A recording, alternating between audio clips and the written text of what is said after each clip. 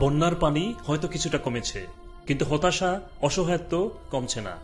সিলেটের কানাইঘাট, জকিগঞ্জ, মৌলভীবাজার শহর, শহরতলি, কুলাউড়া, রাজনগর এবং নবীগঞ্জ এইসব এলাকার শত সহস্র মানুষ এখনও বিধ্বস্ত।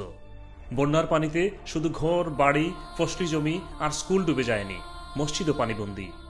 যেমন দরকার জরুরি খাবার এবং আবাসন, ঠিক তেমনি দীর্ঘমেয়াদী সহযোগিতার আশায় প্রবাসীদের দিকে চেয়ে আছেন বিপদাপন্ন মানুষেরা।